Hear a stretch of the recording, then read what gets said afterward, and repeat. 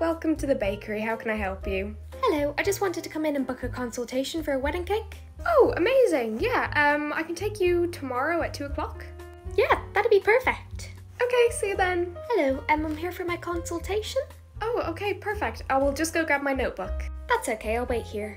Okie dokie, I have my notebook. Now, uh, what type of cake are you looking for just to make sure that we're actually able to do it for you? I'm looking for a two tier chocolate and red velvet. That sounds perfect. Okay, now what type of icing are you looking for? Cream cheese.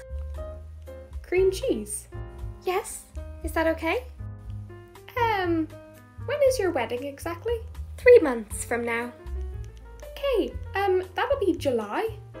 Yep. Mm-hmm. Cream cheese will melt if it's outdoors at all. You're having an outdoor wedding, right? Yep. I really don't think cream cheese is a good idea. How would American buttercream sound? Yeah, that'd be that'd be fine. I, I don't want the cake to be a disaster, so yeah, American buttercream.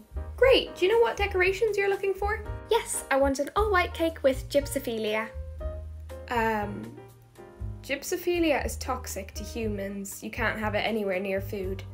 Oh, um, well, how come everyone has it on their cakes? Mostly because people are uneducated about the fact that that flower is so dangerous. But I, I kind of want it on my wedding cake.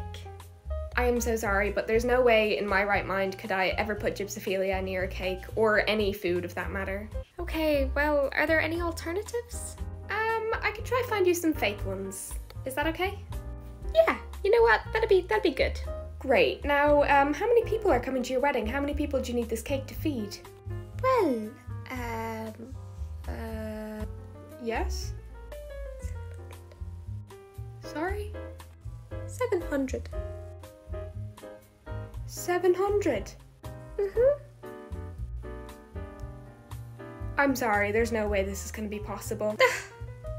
For goodness sake, every bakery is the same.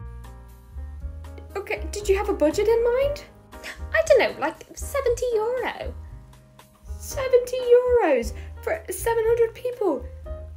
Oh my goodness. To be honest, I thought cakes were quite cheap to make. Obviously not. Okay, um, I'm gonna have to cancel this consultation. You might want to try and find a different bakery.